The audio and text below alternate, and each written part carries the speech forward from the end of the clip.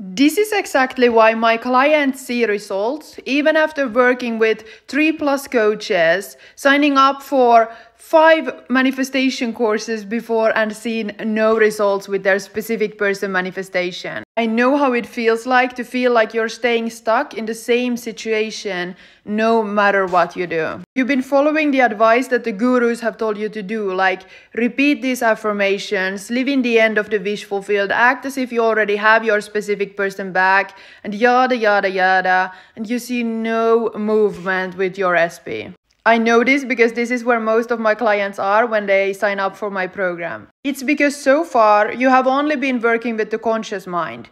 But as a conscious creator of your reality, you know that it's not the conscious mind that is manifesting your reality. It's actually the subconscious mind. And so, what we do inside my program, which is like the main focus, is working with the subconscious mind. And we just need different, more effective, more powerful tools for doing that.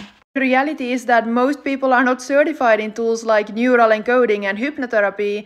And from my own experience and also working with hundreds of clients, that's actually the most powerful tools for communicating directly with the subconscious mind. Because once we can get those suggestions, get those new things into the subconscious mind, into that part of your brain that is responsible for actually creating changes in your reality, then that's when everything is going to start shifting and everything is going to start shifting very fast.